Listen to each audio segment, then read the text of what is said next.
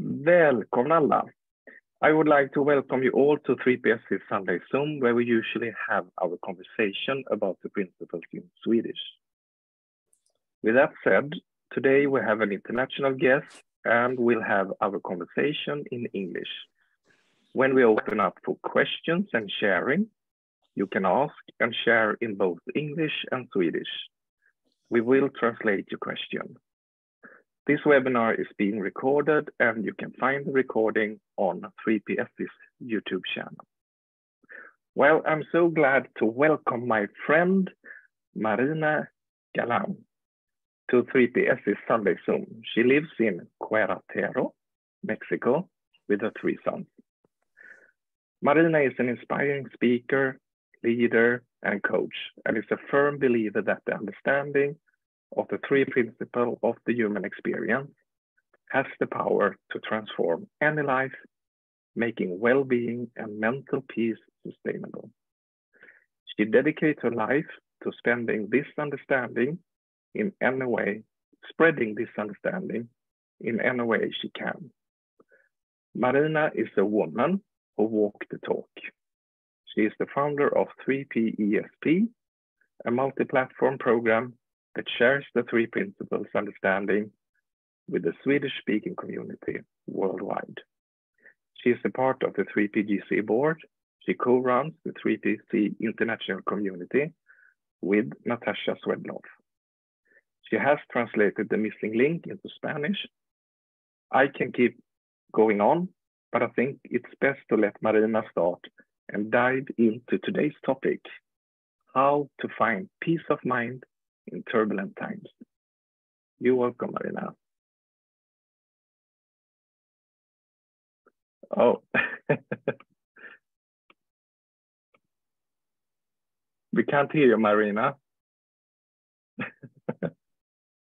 there you go. Yeah. Hello again. Hello. Um, I was saying that it's always funny to to listen to someone else introduce you like that talk about you like that. No, it yeah. kind of places you on the spot. And and I don't know if this happens to you, but sometimes like when you go through what you actually have done, you yourself are surprised and are like, oh yeah, I've done all that. It doesn't really feel like that on a on a 24-7 basis. Mm. But I guess that's just part of the human experience as well anyway, thank you for having me here. It's it's really truly an honor.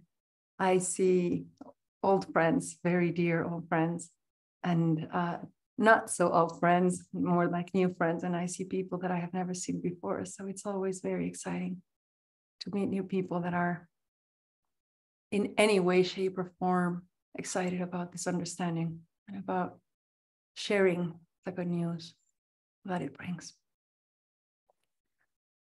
anyway, uh, how to have peace of mind in turbulent times was the topic chosen for today's talk.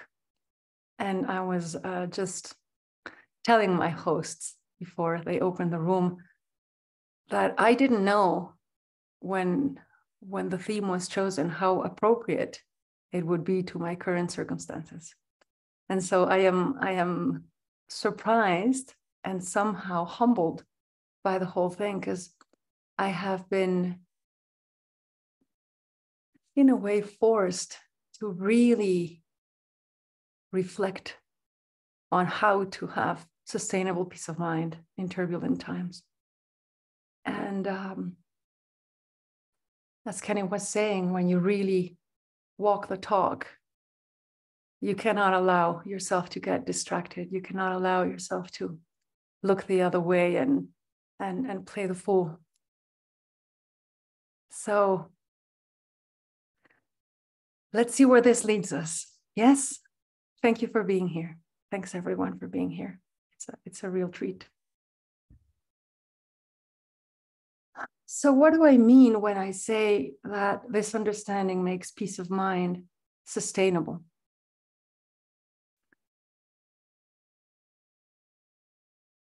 what this understanding points to is the fact that the way the system, the way the human system is designed, we go in and out of our perceived well being. So sometimes we experience peace and mental clarity and peace of mind, and sometimes we don't. Now, I was talking to someone yesterday, and uh, we were exploring how it is never voluntary, right? I mean, who gets out of peace voluntarily? Nobody ever brings themselves out of peace voluntarily. But it happens. We do innocently with our thinking.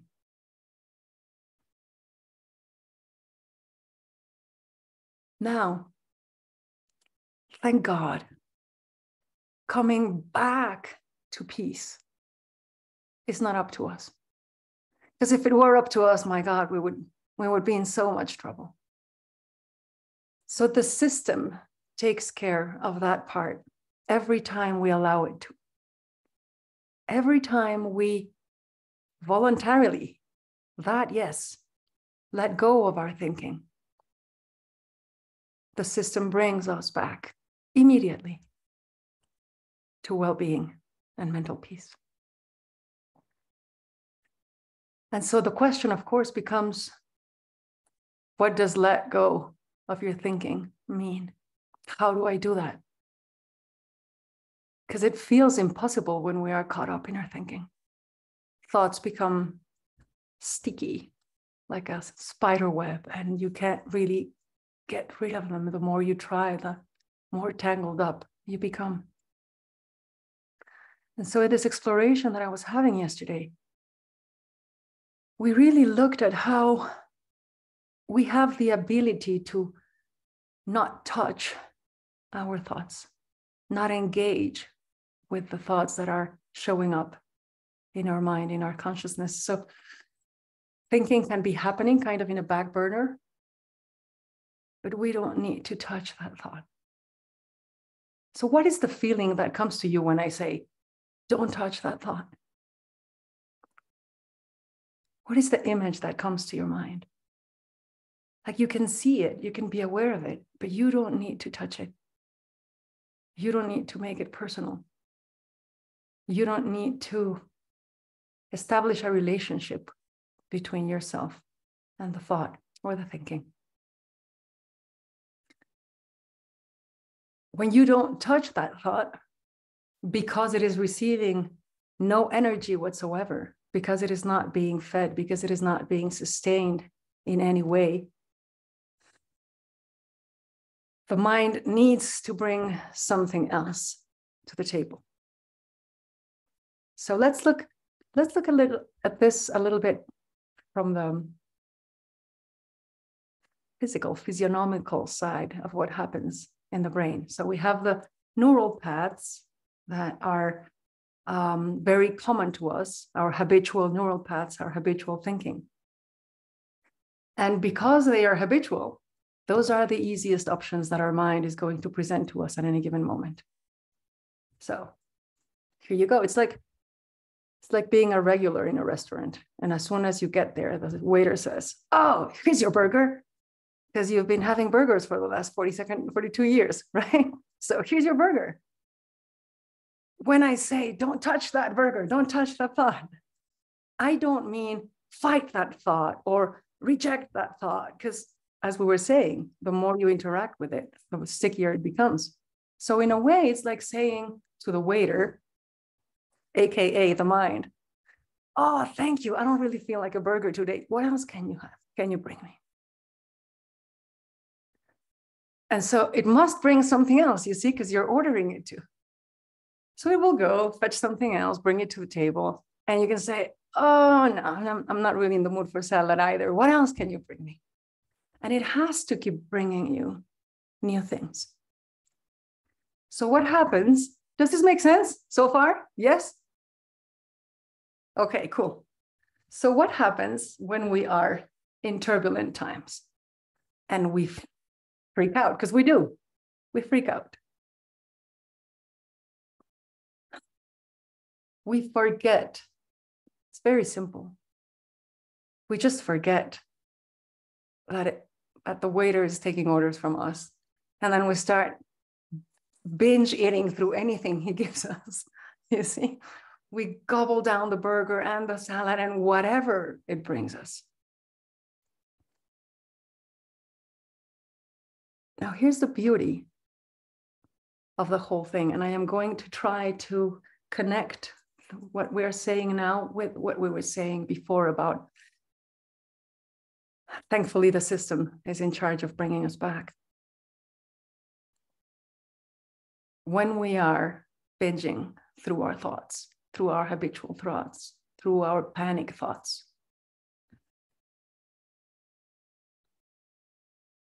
wisdom will pull up a signal to invite us to let go, to stop touching that thought. And that signal is our feelings. Now, this is really counterintuitive in the world we, we have grown up in because we've always been directed in the opposite direction. So, I want to tell you a little story about uh, something that happened to me a few weeks ago, in which I really could see the whole thing happening live. Yes. So, um, my mother had been, I have an 83 year old mother, and she has emphysema in her lungs, and it's very advanced. And so she has a lot of trouble breathing. And uh, she had had a couple of really rough days. Um, and of course, when she can't breathe, her thinking goes wild. And then she gets really nervous and worked up. And she goes into a panic, and that allows her lungs to close even more. See, so she can't, it's a, it's a vicious cycle. Yes? So, anyway, I had been with her for, I don't know, a day and a half, trying to calm her down, trying to help her breathe, etc. And for a few times in those hours. Um, she was about to die. She was she was really going, and she was holding onto my hands like this. She couldn't breathe, and she couldn't breathe, and she would look at me straight in the eyes, and her tears would start streaming down her face, and I could see her panicking. Now, it was incredibly tempting to follow my panic thinking, my own panic thinking in the moment.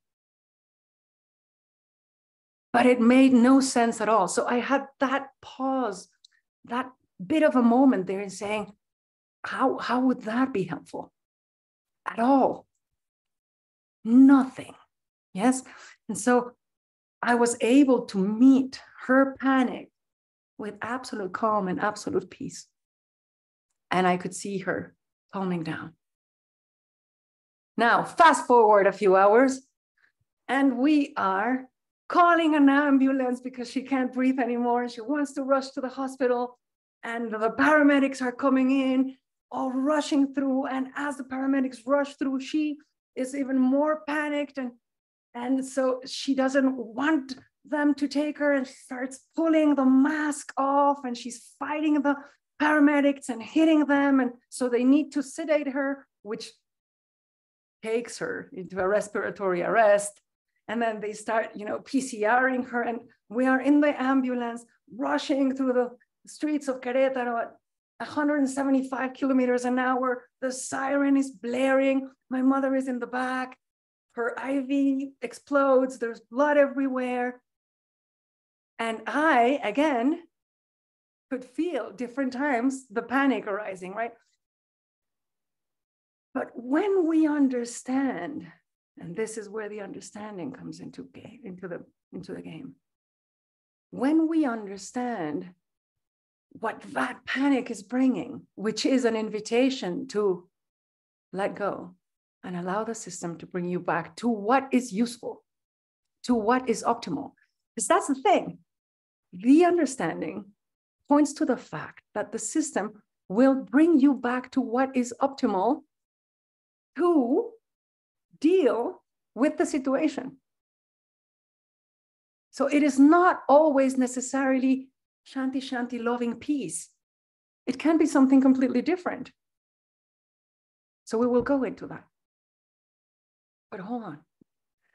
So I can feel the panic, right? And of course, logically, it makes absolute sense to panic, but from the understanding, it doesn't make any sense to panic. I am sitting in an ambulance with the driver, rushing through the streets. Panic is not a good idea. And so I keep turning to the driver and I keep telling him, oh, Yeah, I can see you like strong emotions. And he's looking at me and he's asking me, What? How are you so calm? How on earth can you be having this kind of conversation with me? And I'm like, No, yes, don't worry, just drive, you know, everything's okay. And I'm calming the paramedics down and everything is so. In the end, we get to the hospital. The driver from the ambulance ask me for my card because you know I, I need to understand how you do this. And, and but every time he asked me the only answer i had was well it makes no sense to panic. It makes no sense to panic. It's not useful under these circumstances. Now what would be another kind of circumstance where absolute peace would not be optimal if a dog is attacking your child. You don't want to be peaceful and shanti shanti. You want to have a different kind of energy in order to deal with that. You see? But the energy does not come from panic, it comes from clarity of what is needed. And that clarity of what is needed comes from peace of mind. So you see the difference? peace of mind, agreement with reality, information from wisdom, optimal response. If I had been driving the ambulance, I could not have been shanti shanti peace because my senses needed to be way more alert. Right? So the system brings us back to the optimal state to deal with the circumstances when we allow it to. Is this making sense so far? Yes? Okay, I see a few faces going like this, so good. Now, when we say turbulent times, we are not necessarily referring to two hours where I was rushing my mother to the hospital and dealing with this. We are talking about an ongoing difficult circumstance, you know, throughout days or months or years. Thankfully, the system doesn't get tired and need to, needs to rest. It is working perfectly 24 7, regardless of what is going on, regardless of whether we are tired or not, angry or not, scared or not, sad or not. It is always, always working perfectly. And so it has a continuous invitation to the perfect response, the optimal response, which is a continuous invitation to peace of mind and clarity. Quiet mind and clarity. So, what does quiet mind mean? There is no noise. We all have the experience of a noisy mind, yes? The noise if you give yourself the chance to look at it, it mostly comes from being in disagreement with what is. So when I am not in agreement with what is, mental noise. Things should be different. This should not be happening. Uh, he should be driving differently. My mother should be breathing. They should have put the, the VI differently. Uh, I don't know anything. The dog should not be attacking my kid. Yes, but it is. So you need to come to terms with what is in order to be able to respond to it optimally. When you come to terms with what is, then there is a quiet mind. There are endless accounts of people in, in war when they are out in duty and they are being attacked and bombarded and all that. And all every single time what they say is you do not feel the fear while you are under attack. There is always clarity and, and, and a quiet mind. It's only after the attack that you then your mind begins to go everywhere and then you can experience fear or anger or sadness or whatever. But during the attack, there's always presence. And presence implies agreement with what is. So you see, even in those moments, the system has your back. It's taking care of you, it's bringing you to no mental noise.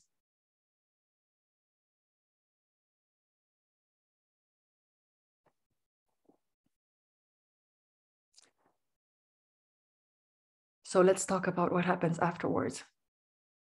Now that things, the danger is over.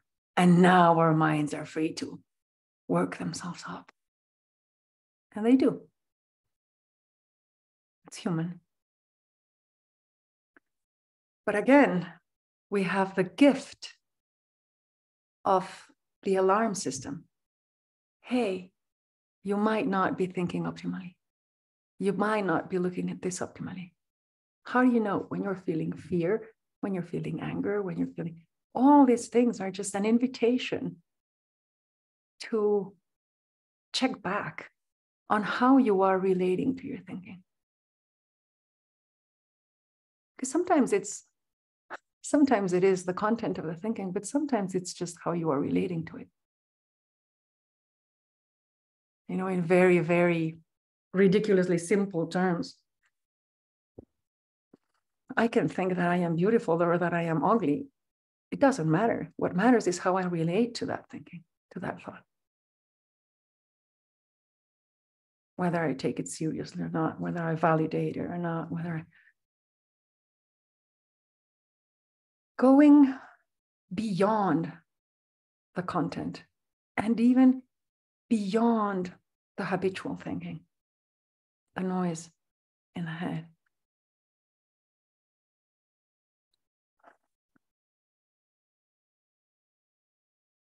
You seen little babies, how they are continually in experience? Like they don't stop, they are experiencing everything, yes? And so we know that there is thinking going on in the back, right? Now, as we grow into adults, for whatever reason, we cannot understand thinking, but in terms of language. Like, can you think of a thought and not think of it in terms of language? You can't. There's always a story. And yet, babies and little kids don't necessarily have language, and they are growing, going through the motions of experience. So, what does this point to? The principle of thought is not in the form, so it cannot be in language. Thought is just an energy moving through us. And then our minds tells the story of what that might mean. You see? So this means that my mother is in danger and that the paramedics are assholes and that this should be happening differently. That's the story my mind is making up.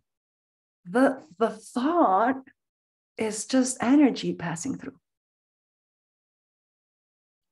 And so when we we when we start exploring the principles and uh, we we get really interested in thought, we get very interested in looking at the content of thought. Yes.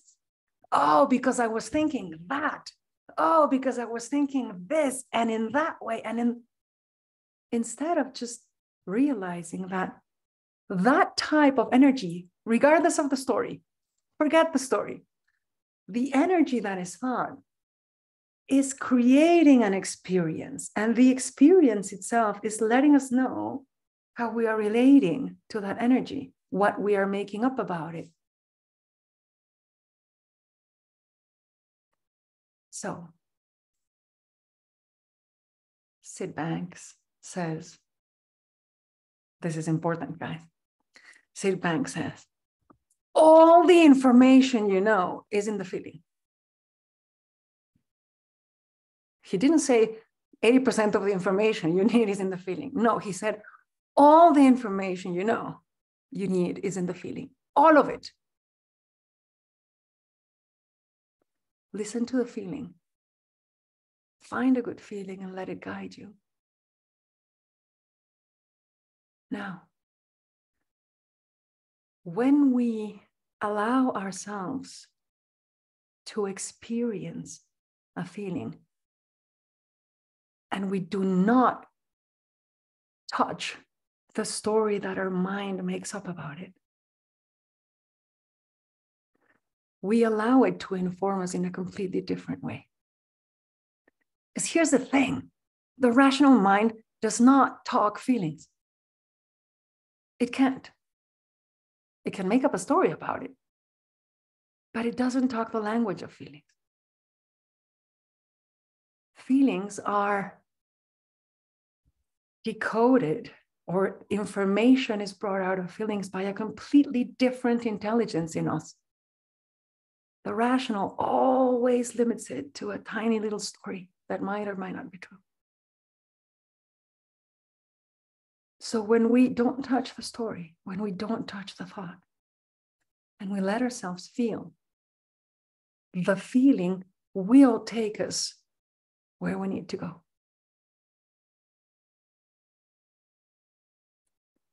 We, through this understanding, have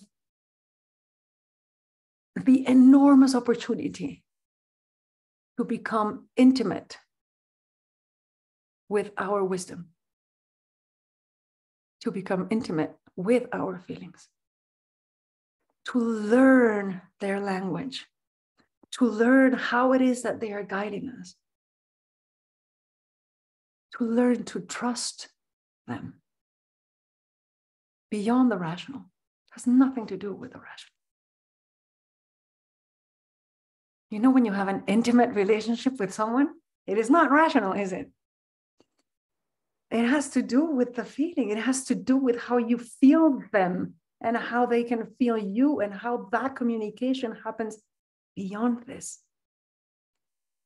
I was at the bank a couple of days ago, and these two women that work there, they would just look at each other and they would know, like, they would give each other orders just by it was like so beautiful to see but it, it had nothing to do with language. It had nothing to do with rational.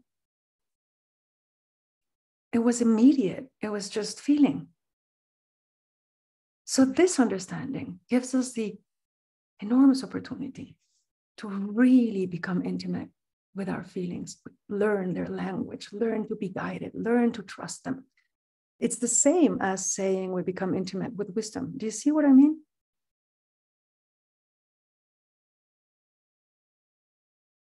Turbulent times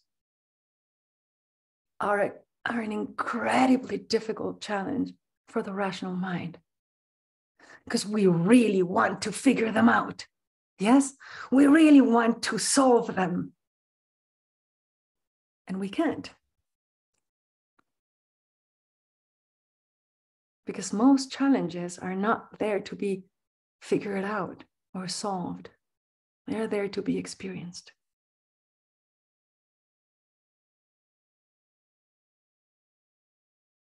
And a lot of the times, when we give ourselves permission to experience them, we don't solve them, but they dissolve through experiencing.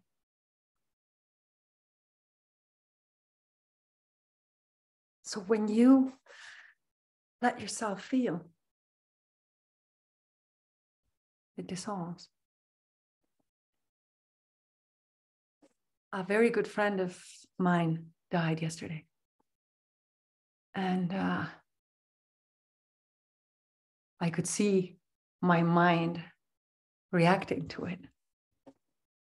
I could see my mind getting angry and getting sad and uh, getting upset and looking at her 19 year old daughters and thinking how unfair it all was and getting worried about them and and thinking about her poor husband who this year lost his father, his sister, his dog, his, and his wife. I mean, come on, right? What's that about? Turbulent times. You cannot solve this. You can't. We cannot solve war. We can't. We cannot solve loss. We can fight it, or we can experience it and let our system, because I don't know how to call it, our heart, suck all the information it needs out of that experience so that it can grow larger and meet experiences anew from a more compassionate, more loving space we hold experience. When you meet people that are, I don't know how, how the expression would work in English, but in Spanish we say a lot, he's dehumanized. When, when people cannot feel you, when they cannot feel empathy, when they cannot understand, we say they are dehumanized. Yes. So when we do not grow our hearts, our souls large enough to contain the experience of another or our own, we lose the opportunity to be more human, to be more ourselves. When we fight with this, we lose the opportunity for this to happen now, this, man, boy, does it hurt. But there is no other way to widen your heart, to widen your soul, than to really, truly allow yourself to feel the experience.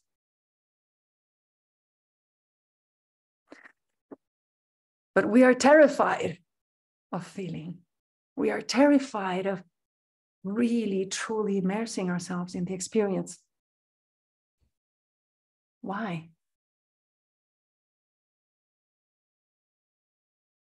Because we have grown up and lived in a world that teaches us that those experiences need to be expressed by being projected onto the outside. And that is not true. So if I allow myself to feel anger, I will probably go and hit someone, break them their nose, kill them. Uh, if I allow myself to feel sadness, I will end up depressed and not get out of bed for the next four months. If I allow myself to feel grief, I will never, ever recover from it and be able to meet the world anew. And so we learn to be terrified of experiencing, of feeling. And we are desperate to find a solution here. Now, see how finding a solution here is always rejection on some level.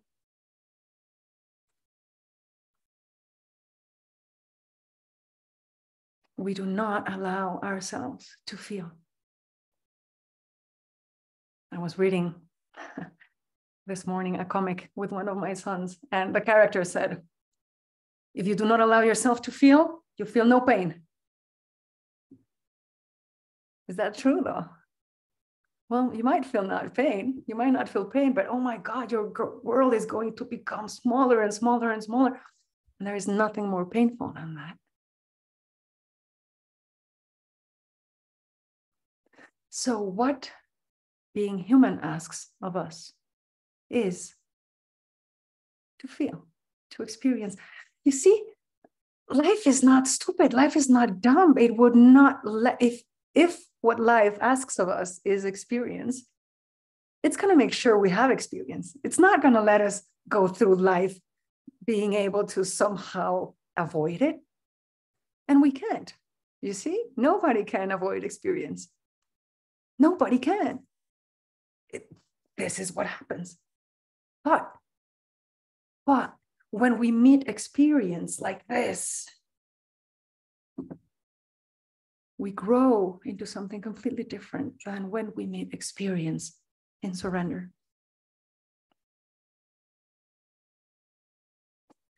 We grow inwards. We allow for more. We become larger. We expand. We become more human. We understand. We empathize. We hold. We become companions for others. We don't need to rescue them from their experience, but we can love them through them. We can walk with them through them.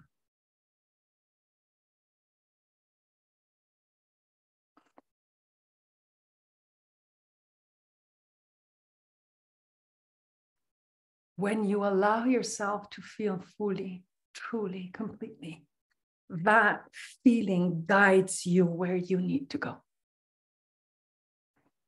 in the understanding that it is about this and not about out there.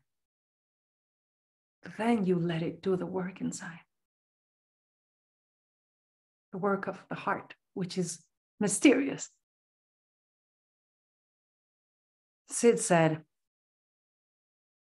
All is love and mystery. period. Love and mystery. There's nothing else. And when you can mix mystery with love, oh my God. Oh my God.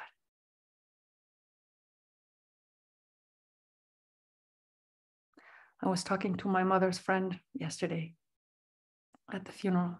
And uh, she told me, I can't go through this.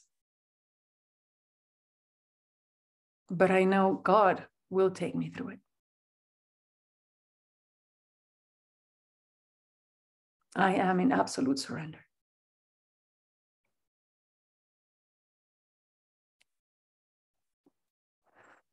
I spent the last week with my father. He's 94 he's very weak. He had a, a nasty fall last week, and uh, he's been recovering very, very slowly. And um, I could see him try to fight it with his head because he has been the strong guy for his whole life, and he's so proud of himself and his strength and his. And yet he is having to surrender he's having to surrender to his own weight, to being helped, to humility. And I could see him go in and out of it, in and out of it, in and out of it.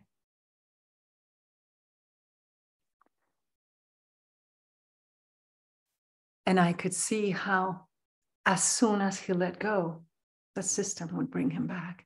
And he was present and funny and charming and joyful.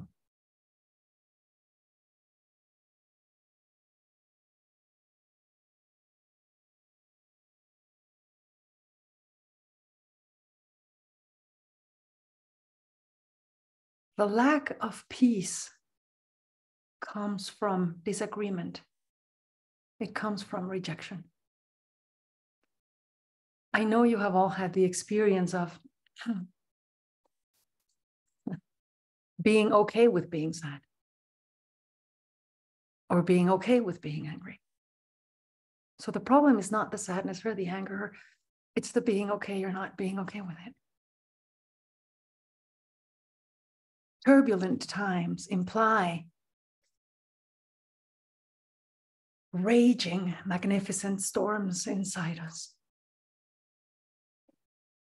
But we have the ability to surrender to that. We have the ability to surrender in the unknown and not only surrender to the unknown, but thrive in it. We, were, we were designed to thrive in the unknown. Look at babies, they don't know anything. They are being woken up, changed, taken someplace, changed again, put into water, brought back, fed. They are, they are just going with it. They don't know shit, but they're thriving. They're not stressed. They're not stressed because they're not rejecting it. I mean, they just came into a world that is completely alien to them from darkness into light, from silence into sound, from being by themselves to being surrounded by people all the time. It's insane when you think about it. They don't have a problem with it because they're not fighting it. And so they thrive. So if babies are designed to thrive in the unknown, we are too. It's just that we've grown accustomed to control or the illusion of control. So I remember when my kids were little and everybody would tell me, no, you have to follow a schedule and always the same thing, one after the other. So the baby knows what's coming and that will make them feel calm and everything will be predictable. They didn't have a problem with nothing being predictable, but I was forcing that into them. And then they would get into predictability. And then if I take predictability out, then they would feel stress, you see? So, peace in turbulent times comes from the recognition of our design, the recognition that that mental peace is perfectly possible, and not only perfectly possible, optimal to deal with turbulent times.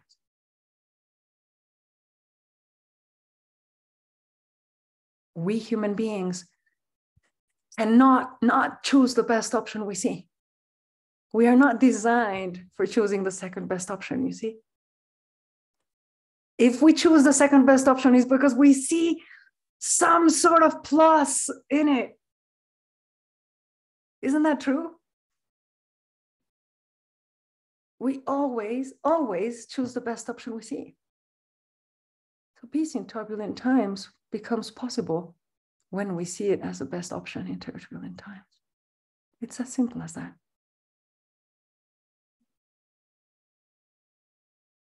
So, yeah, agreement with reality, embracing of what is, not fighting anything, peace of mind, clarity, feeling, being guided. Perfect. You see how simple it is? There's so little for us to do. It's just a recognition of it. The recognition that the system, if we allow it, will guide us the recognition that we can trust it. That's a very important one. But we can't. If our design was up to us, oh boy, oh boy, oh boy. Thank God it's up to universal wisdom. So we can trust it because it's not us and the universe, us and life, us and wisdom us and nature. No. It's all the same thing. We are nature, we are life, we are wisdom, we are intelligence. So we can trust that. Our intellect came way, way, way later. It's tiny and it only has uh, not even your age. I mean, come on. beware, beware of thinking that it can know more than life, than the design, than the intelligence that you are part of, than the wisdom that you are part of.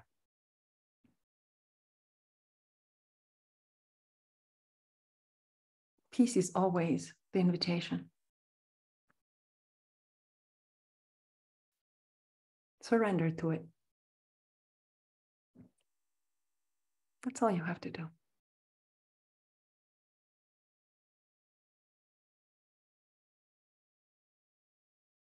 I think that's it. I'd love to hear what you guys have to say or what you guys are hearing, or if there are any comments or questions. Yeah, thank you, Marina. That's lovely. If you have any questions, just raise your hands and we have something to share.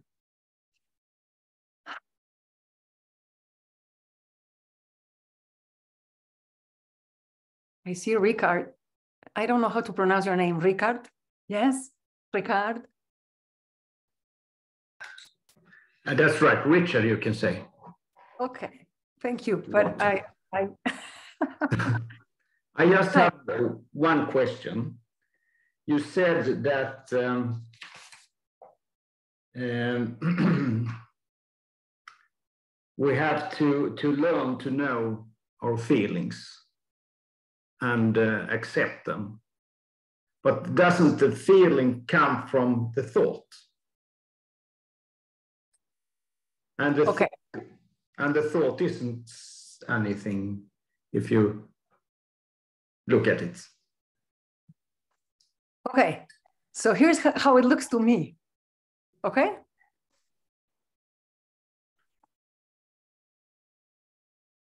The feeling gives you information about the thought.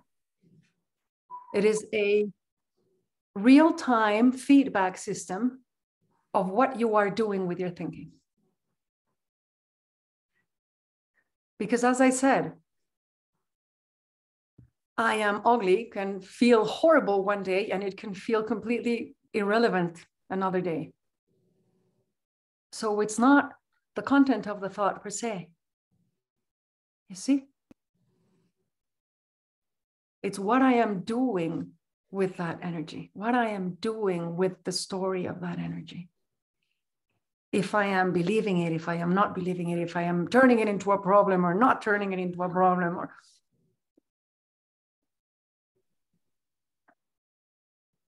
So, yesterday at the funeral, my friend, you could hear everyone say, such a shame. She was so young, and her kids are so young, and what is going to become of them? And the worry of the father. But at this, but two minutes later, you could hear the same people saying, Thank God she left. She was suffering so much. She was in so much pain. So we're all talking about death. But you can look at this part of death, or this part of death, or this part of death, or this part of death, or, and what you are doing with it is happening. Yes? Now, your feelings are giving you information about what you are doing with them.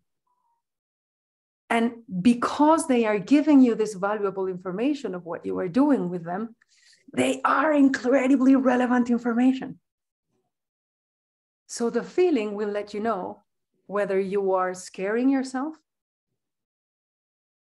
or you are over congratulating yourself or you are worrying yourself or you are angrying yourself. That is what the feeling is going to tell you. You see? And that is an invitation to become conscious of what you're doing so that you can stop doing it or not. So, as we become intimate with the language of our feelings, we learn to recognize how they are guiding us, how they are letting us know what we are doing. So, imagine that you're flying a plane, you see all these, the, the, the, the whole thing is filled with instruments, yes? All these instruments are giving you relevant information about what is going on you want to listen to them. Yes? It's the same with feelings. The feelings are letting you know what's going on. You want to listen to them. But if you don't know how to read the instruments, if you don't know what they are talking about, in other words, if you think your feelings are giving you information about the outside world, circumstances, other people, you won't be able to listen to them as you begin to realize that they are giving you information about what is going on here, then you develop a completely different relationship with your feelings. And you learn their language. And so, for when I was in the ambulance heading to the hospital, and I could feel panic, I, I could see that I was about to begin scaring myself with my thinking, which was not useful in that circumstance. so I could stop doing it. I could let go of the whole thing in an instant. Now, if I am feeling anger when a dog is attacking my kid, I can see that that feeling can be useful right then and there. Yes. So I can use that anger to separate the dog or to attack the dog or to whatever. I'm not going to go and say, oh, hello, little dog. Could you please stop biting my kid? It hurts. So you see, is it useful or is it not useful? Anger is very useful if the dog is attacking my kid. It is not useful if my kid dropped the milk. It is not useful if I am driving in an ambulance with my mother.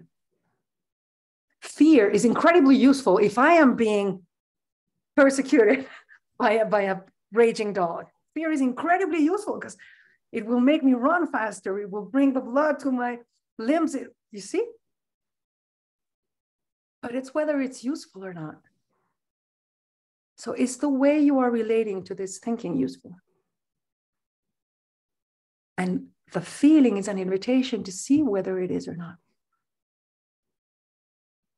But in order to get to the stage in which you see whether it's useful or not, you have to, I, you have to both be present to the circumstance, to the situation, and allowing yourself to feel completely, sucking out the information out of the feeling. Does that make sense? Ricardo? Yeah, but I, I, I got the impression that you had to choose between the feelings. If you have some feelings that comes to you, you have to choose that one and not that one. That's the way I first heard it. Yes, I'm sorry if it sounded that way. No, no, no. This, this, it's my thinking. the feeling is there. You just, you just it's it's already there. You don't get to choose whether it shows up or not. You feel it. So you don't choose the feeling you accept the feeling. Yes because you see Syd used to you Syd Banks said the feeling guides you. The feeling guides you. So you feel the feeling. Sorry. You feel the feeling and you allow it to guide you to the next stage whatever that is. How can it guide you if it's it's a feeling from a thought that doesn't do any good in that situation? I can think th thoughts like the dog. I, I, I want to hit the dog, and maybe that's not uh, the best solution in that situation. And that, that thought creates a feeling but that feeling doesn't help me. Or well, you well, here's the thing. When you have peace of mind, when you have clarity, you know what is useful and what is not. Okay. Okay. That's the whole point.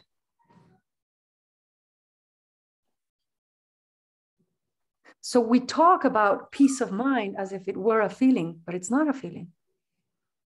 It's a state of mind of clarity and presence and agreement with what is. That is peace of mind. Thank you very much. My friend's husband is going through grief. Grief is what I don't know, it's five or eight steps or something like that. And you have anger and negation and sadness, and all these things, those feelings are letting you know where you are in your thinking about loss, about having lost someone. So they are giving you useful information of where you are. You see? Clarity. Oh, I am still angry. Is anger useful to lead my teenage daughters in life? Not really. see? But it all depends in the moment. So it opens up a new, whole new world of possibilities in terms of allowing those feelings to guide you in the navigation of your thinking, not only in the navigation of reality, but in the navigation of your thinking as well.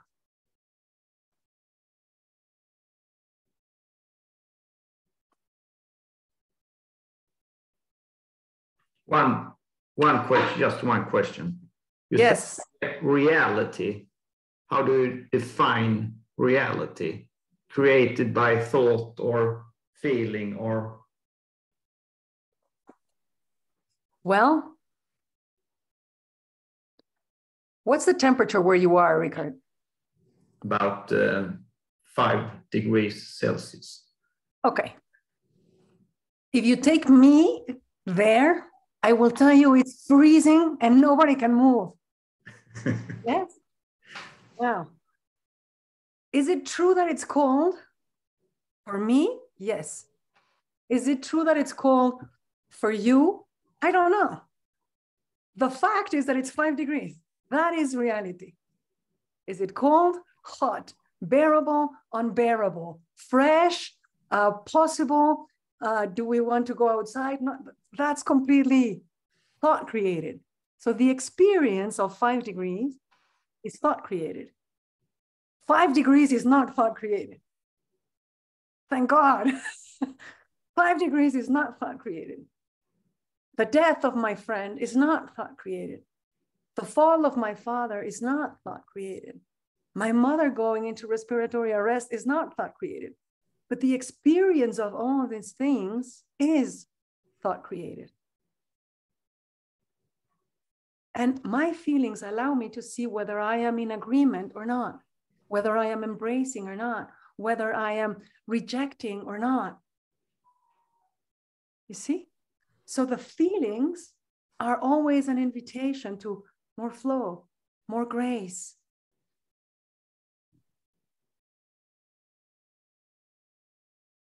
more love. Thank you very much. Thank you very much. More acceptance. When my father accepts that he's 94, he surrenders more easily. When he doesn't accept that he's 94, he's a pain in the ass. He doesn't let me help him. you see what I mean? Well, agreement with reality, an agreement with my experience of reality so that I can move and navigate and play with other experiences of it? Thank you, Ricard. Beautiful question. Cecilia Hector, it's so good to see you. oh, sorry. Please don't turn off your camera. I like looking so, yeah, oh, this is so beautiful, Marina. Thank you so much for this, um, mm. for this, uh, how you express everything. And uh, it's just how I see it. it is all about the feeling and and we are guided from the inside. Yes. and uh, yeah you just point to to all all the things. I love it. Thank you. Thank you.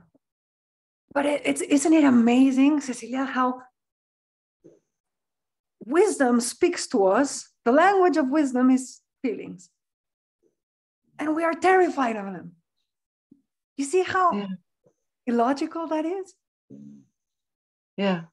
So the language of wisdom, the way wisdom communicates with us is feelings. Oh my God, we should be binging our feelings. You see, we should be squeezing the information out of them. And like you say, we go up and down all the time. Yes. And sometimes we are aware and sometimes not. But yeah. we are always guided. Yes. Can come back. Well, here's the thing. Here's the thing, Cecilia. What this understanding does, it does not save you from the, the human experience, right? No. It doesn't. But because it allows you to navigate it differently, you don't need to. Okay, remember how at the very beginning we were saying there is always the invitation to let go so that you can come back to well being and the system brings you back. So, we can be incredibly stubborn. And sometimes we need a lot of suffering before letting go and allowing the system to bring us back. What this understanding does, this is going to sound weird, but bear with me. what this understanding does is it makes us incredibly intolerant to suffering. So we do not need this amount of suffering before surrendering and allowing the system to bring us back. We learn to listen to the feeling and we surrender sooner and sooner and sooner. And so we we still leave well-being, we think ourselves out of it, but we recognize the feeling immediately. And so, ah, now hold on, let me go back, let me go back, let me go back. And so instead of experiencing a life that is, you just flow here with grace and elegance and beauty because you are i don't mean i don't know about you but i find myself especially in this few last last few weeks i find myself surrendering surrendering 200 times a day. It's like oh my god here i go again. Oh there i was again. Oh there i was. It's just surrender surrender surrender. Constantly. So it's it might sound paradoxical the fact that we are expanding ourselves to hold more. And that at the same time we are we are becoming intolerant to suffering. But it is actually not a paradox. Because we are able to hold the space of suffering for others and for ourselves when we find ourselves unable to surrender, to let go. So it's not a paradox because they are on different levels, they are operating on different levels. Our ability to hold the space for it comes from understanding what is causing it, the fact that it's not going to last long, and that we are willing to surrender. And that makes all the difference the willingness to surrender.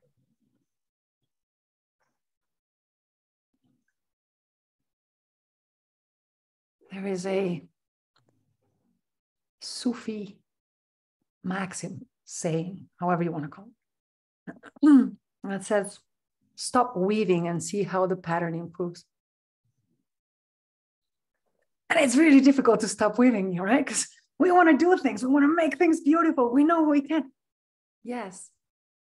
But it's a different kind of weaving when you are weaving from surrender than when you are weaving from ego. Stop weaving. Surrender. See how the pattern improves.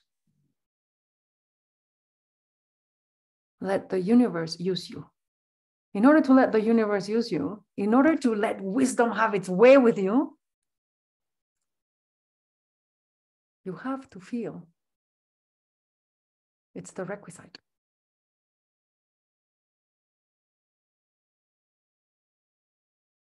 You can't be guided if you're not willing to feel the guidance because it's the way, it's the language. That is the language.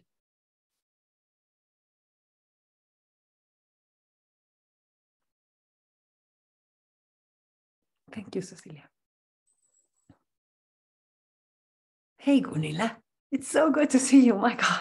So good to oh. see you, my old friend.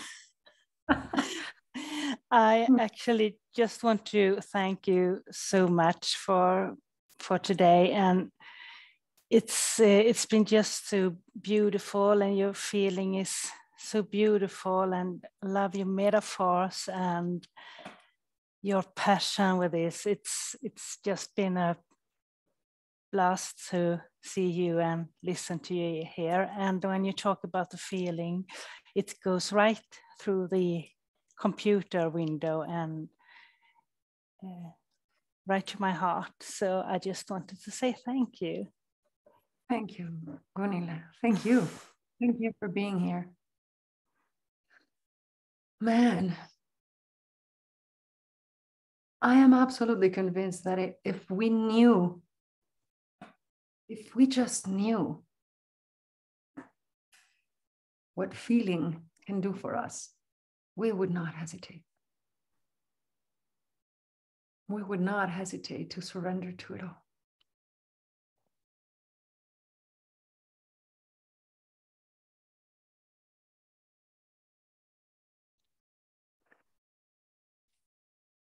again, you know, like we were saying right now with Cecilia, it allows life to not be so extreme in the suffering and allows you to just flow in more grace. But at the same time, almost paradoxically, it also allows you to experience the personal fully and completely, you know?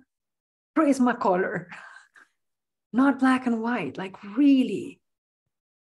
Because because it's beautiful that I am in love with you and not there is love. No, I am in love with you. And I am hurting because my friend died. And I am sad because she was my friend. And you see the, the beauty of the personal experience. Mm.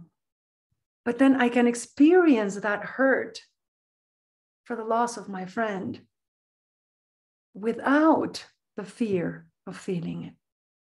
Hmm. I give myself permission to go there too. So, in a really literal sense, this understanding makes us free to feel anything. It makes us free to think anything without getting tangled up in it, hmm. without getting over identified with it. Isn't that beautiful, though? The freedom it brings. Yeah, it's truly a gift. I know. I know.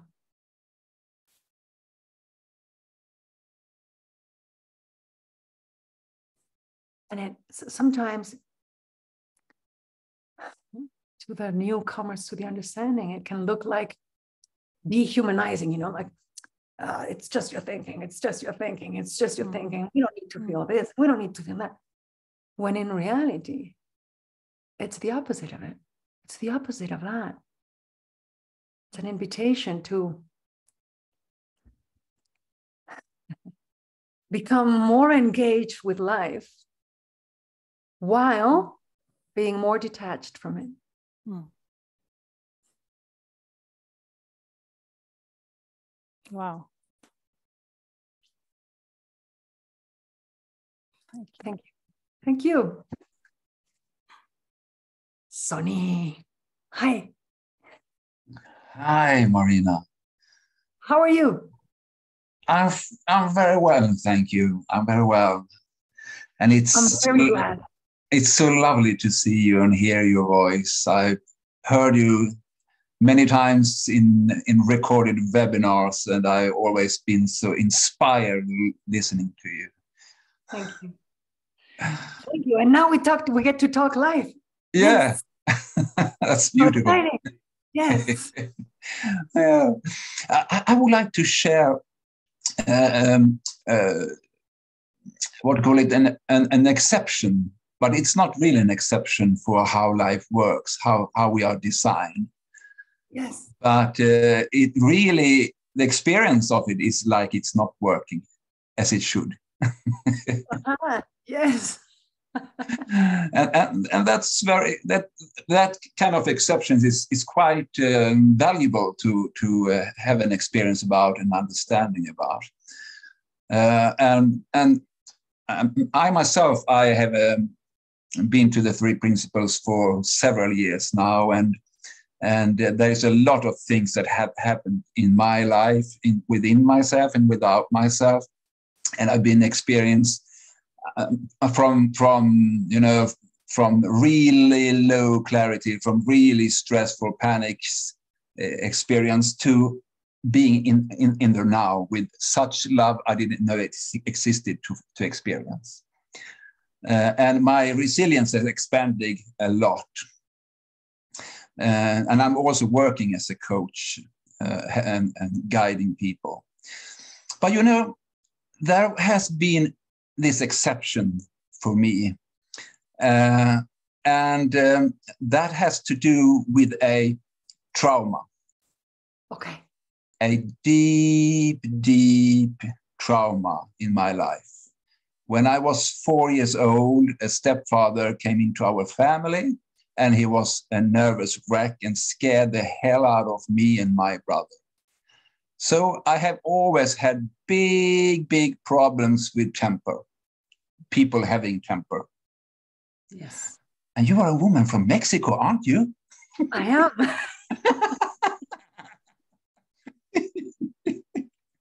am. so when when when this trauma, this this is the biggest trauma in my life. When that has been triggered, that's not a matter of noticing any kind of feelings because it's so high energy there. It's so high speed going on there. So when that's triggered, boom, I'm just there. Huh. Yes, I know exactly. Like, like, like kidnapped. Totally kidnapped. Nothing, nothing to do. There is no guidance. There is nothing. It's just stuckness. I know exactly what you mean. Yeah. But do you know what happened uh, just a couple of weeks ago?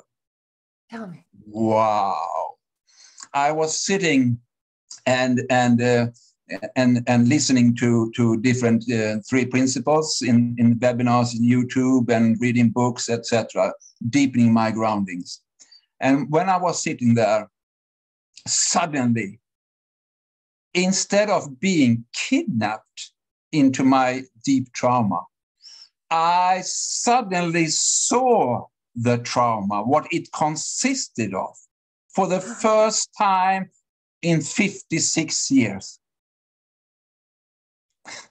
I actually, for the first time, saw those thought storm, the thoughts. I saw the thoughts. Yes. I saw it, the trauma consisted of thoughts in such high speed. Ah. It was marvelous because when I saw it, I cannot unsee it. Of course. So the, the, the, the, the impact of this trauma now has decreased a lot. There you go. Yeah, it's so wonderful. oh, Tony, Sonny, hold on a second. Hold on, because what you're saying is incredibly important. You cannot see thought and be caught up in it at the same time. Yeah. So when you see thought, you are completely outside of it. Yeah. And then you can see the mind rushing and very high speed, da, da, da, da, da, but you are having the experience of being outside of it. Yeah. See? So yeah. it not only can decrease, it, it can separate completely yeah. from the your experience of consciousness. Yeah.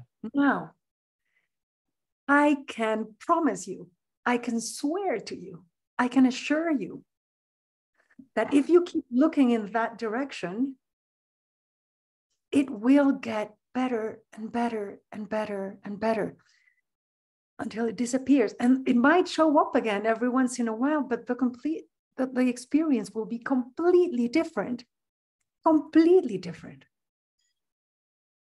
And, and when I say I understand you very well, I really do. My father was incredibly temperamental and violent verbally violent, emotionally violent, physically violent, incredibly violent.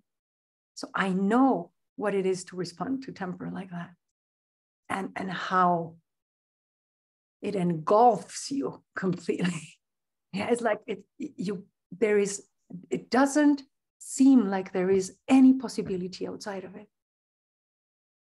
But there is. And you just found that crack. So keep your eyes on that crack. And as long as you keep your eyes on that crack, it, the crack will grow and grow and grow, and it will fill your experience with divine light. I can promise you that. I really, really can. So the, the exception, the exception is a matter of time. Yeah. And the, the beautiful possibility that this understanding brings is the crack. And so now you know the direction in which you need to keep looking. So it's yeah. the direction. You know, they say that once uh, after having been asked a million times, what do we do? Syd finally answered and said, Okay, I'm going to tell you what you need to do. Are you ready? Now listen carefully because I'm going to only say this once.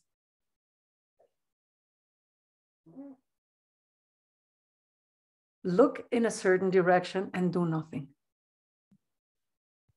But look in a certain direction. That's what he said.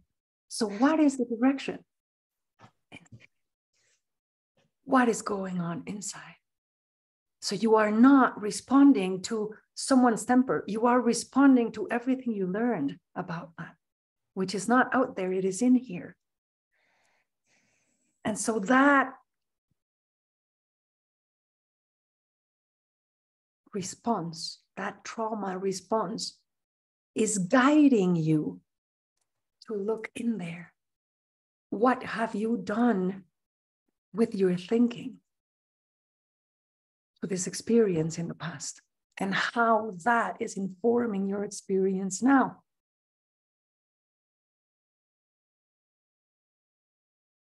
but it is this way, always, always, always this way. Because it is giving information about what you are doing with your thinking, not about how you need to deal with the temper, about what is going on here. Now, we will always have blind spots. Yes, always. So for you, the blind spot has been how to deal with temper. And at some other point in your life, we will talk in, in, in a couple of years and you will have a completely different blind spot. But as long as you can keep looking in that direction, those blind spots spots will keep dissolving one after the other, after the other, after the other. And you will keep having this experience of expansion and growth and, and possibility inside you. I know this I know this because this has been my story as well. Not only with temper, with sexual abuse as well. So my story of man for 40 something years was hell. It was a hell that you had to put up with, that you had to get yourself go through because, you know, life is full of men. But my, the possibility of ever trusting a man was not available to me until very recently. Like really, truly trusting, like resting in the presence of a man, in the intimacy of a man, surrendering. It was an exception, believe me. It's not anymore.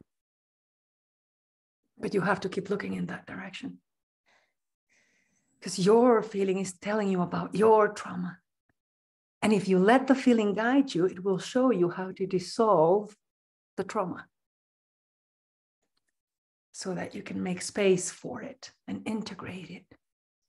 And then you can meet temper from a completely different space. Or men, in my case, or whatever. You see what I mean? Mm-hmm. I am so thrilled for your crack. I am so thrilled that you saw it.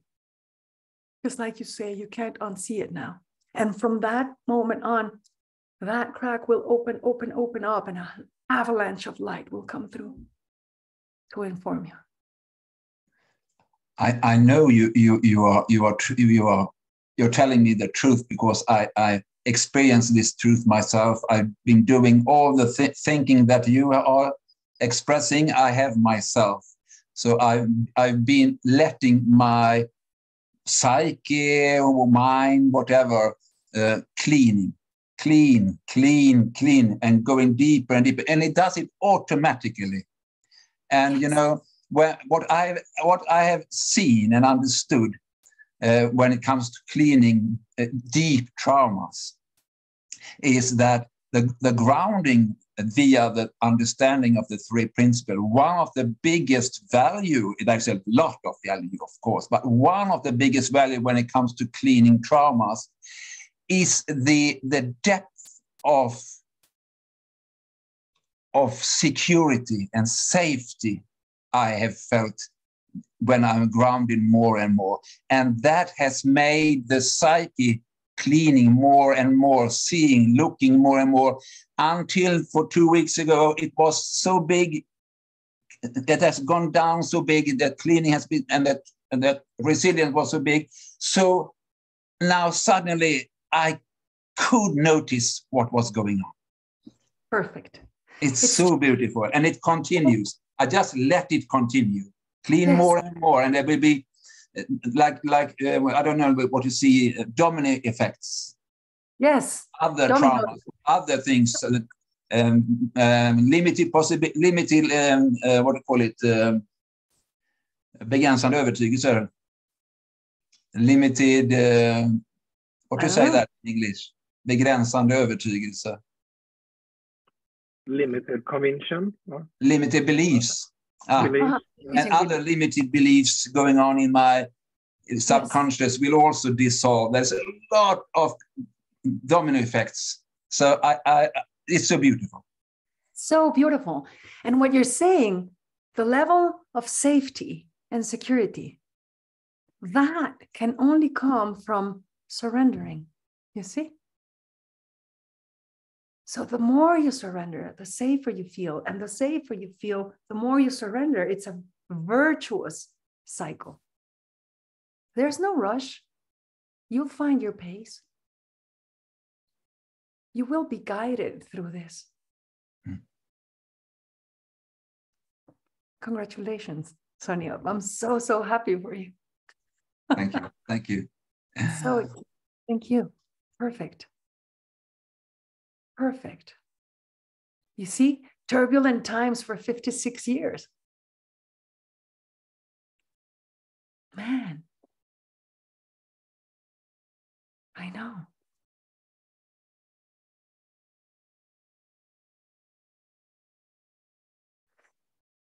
And yet the invitation is always there. Peace of mind, clarity, quiet.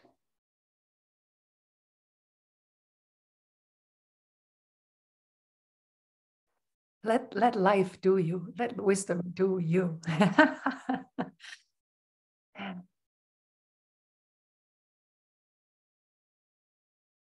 It's so simple.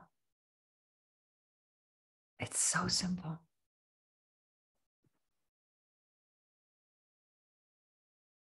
Just recognize the possibility of it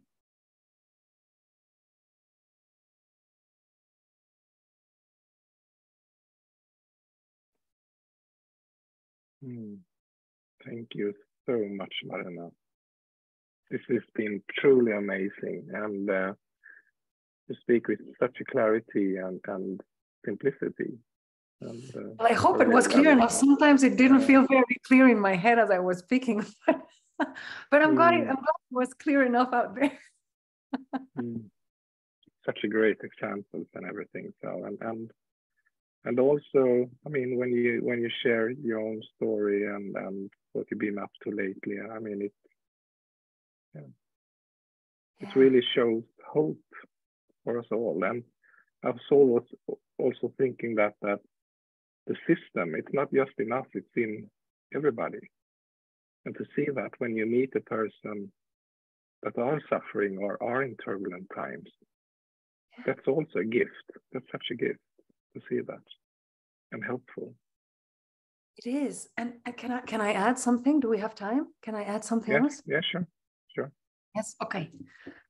Here it goes. So because with my father and my mother, all that is happening now, you know, like the, the downward spiral of, of their end, the end of their life, you kind of have an idea of what is coming. So you can somehow imagine what's coming.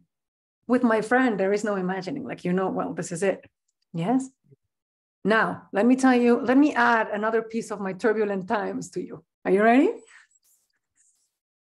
My best friend has been in a coma for the last three weeks. Nobody knows why. They found him unconscious and having seizures in his brain.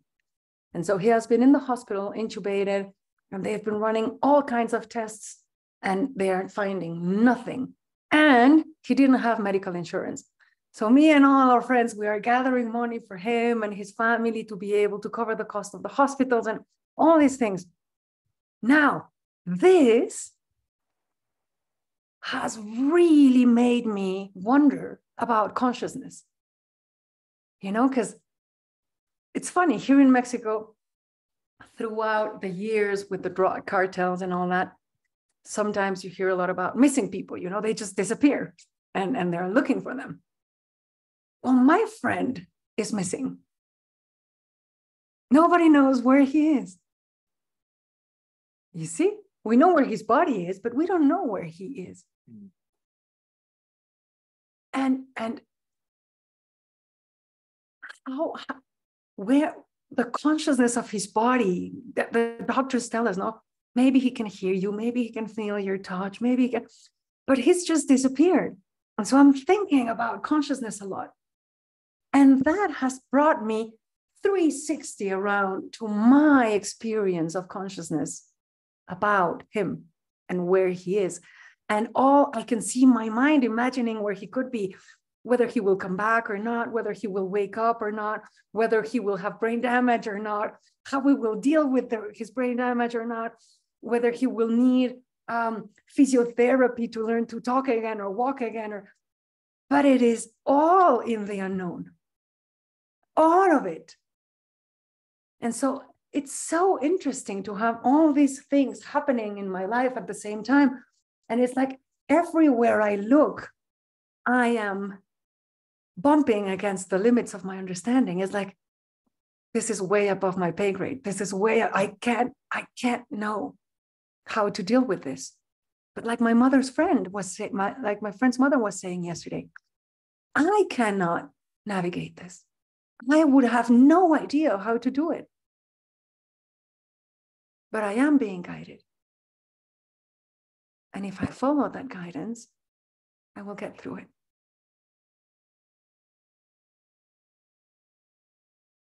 You see? So it's hmm. one step at a time, just the one step you have right in front of you. That's as far as guidance goes. Wisdom knows everything that is ahead, but it works like a like a short lights on your car in darkness. You know, it doesn't it doesn't illuminate the whole world. You can only see two meters ahead of you. But that's all the information you need. This now, what makes sense? Oh, this is what makes sense. Next step. We stop. We go back. We look around. We let reality inform us. Oh, next step. One more step. You see? And you know that as long as you keep yourself there, you'll be okay. So there is no need to scare yourself, worry yourself, anger yourself with your thinking. There is no need to do that. None at all whatsoever. because you don't know. And you either trust the perfection of life or you don't. There's no in betweens. So you surrender again, again, and again to what shows up. That's all we can do. Yeah. Thank you, Kenny. Thank you. Thank yes, you. The, the unknown was an important piece of it. Thank you. letting me that. I, yeah. I saw Hannah had her hand up, but Anna? Uh, Hannah had her hand open, yeah. Yes. Yes, I had, but I was conscious about the time. Do you have the time for one last? I have the time for one more. Yeah, I, I get. thank you, thank you, Marina, for this night. It was lovely. But Thank a question that arose in me was when you and Sonny were talking about cleaning out traumas. Yes. Yes. Can you say something else about that? Because I I thought that trauma was more like a memory. Okay. Uh,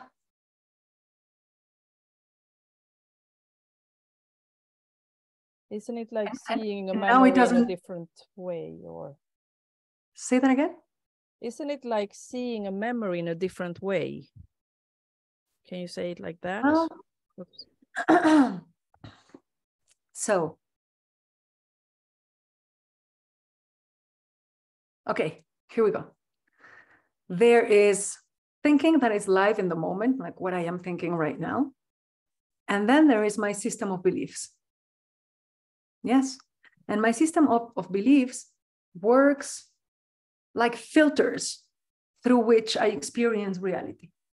So if I live in a country in which having blue eyes is dangerous, I will see everybody that has blue eyes and experience fear and try to hide and run the other way. Yes?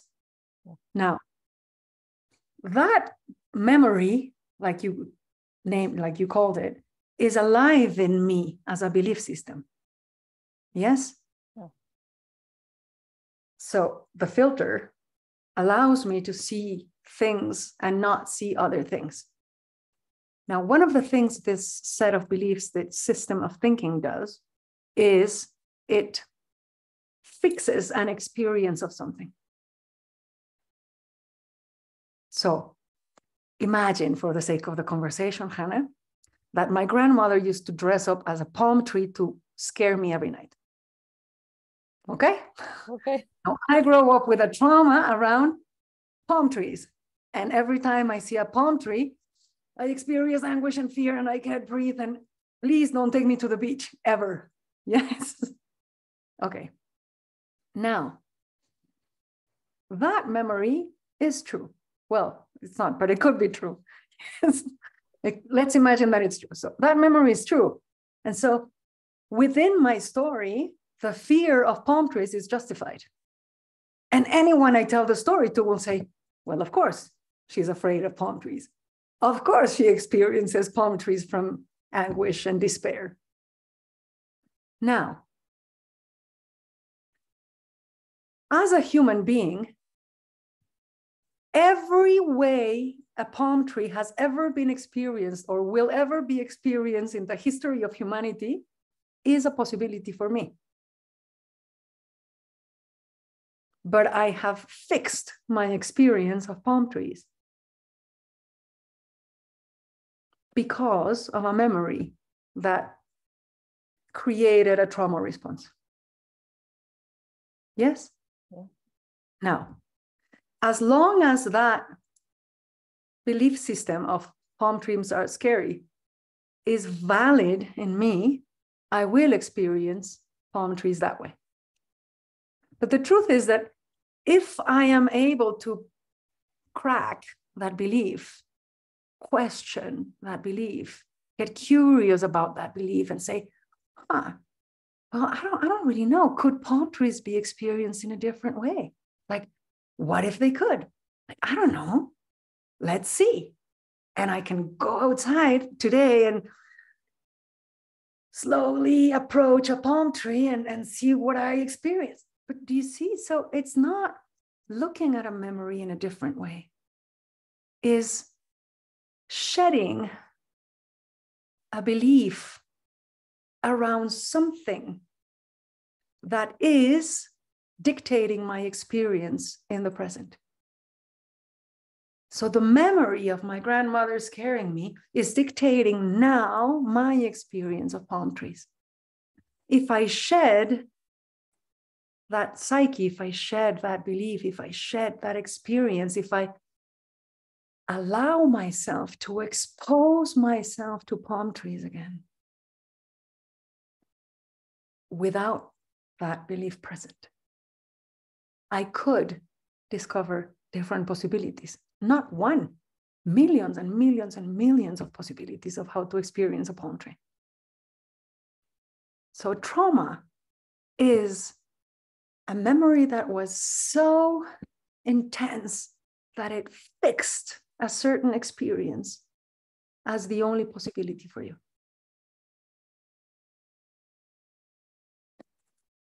Men are dangerous. Men are not trustworthy. Men, do you see? But what if we can approach men differently? What if we can have a completely different experience of temper or power or palm trees or sex? If we don't question, there is no crack that will begin to open and shedding that. Does that make sense? Yeah. And and I think that maybe we start to questioning because we suffer, right? Exactly. So the suffering is the invitation to, hey, Yeah, exactly. listen, you're relating to temper this way. Yeah. Listen, you're relating to palm trees this way. Hey, Marina, did you notice how you relate to men and to power by diminishing yourself and disappearing? And Mm. it doesn't feel open and spacious and possible. It feels completely constrained and small and huh. so you see the feeling Mm. is inviting me to look at what I am doing. How am I relating to the thought of men, temper, palm trees? Hold on a second. I am looking at this in a way that might not be useful if I want a beautiful relationship with a guy, or if I want to go on vacation to Costa Rica, or if I want to, you see? Mm. Yeah. Yeah, that's great. Because this week I just saw something that if it like hurts a bit, then there's something new to see there.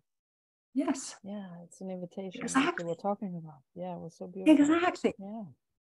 everything we feel is telling us about what is going on here, whether it's thinking in the moment or a thought system, a belief system that we are experiencing life. And ask ourselves whether we want to question it. And That's our free will, right? That's the there you will. go. There you go. So another way, in another another way of saying it would be listen, life is going to allow you to scare yourself and limit yourself and constrain yourself, but it's going to hurt. So you're free to do it, but it has consequences. Mm. But you're free to do it. You're free to suffer if you want to. That's your free will. Thank you, man. Thank you. Thank you a lot. Thank you, Hannah. Beautiful question. Loved it. Loved it. It, it feels like it rounded the whole thing up, no? Yeah. Yeah. it did very, very much what we talked about. Hmm. Wonderful. Well, thank you. Thank Yeah. you, everyone, for being here. It's been an absolute pleasure, Hmm. really. And uh, Thank you, hope Marina. Yeah.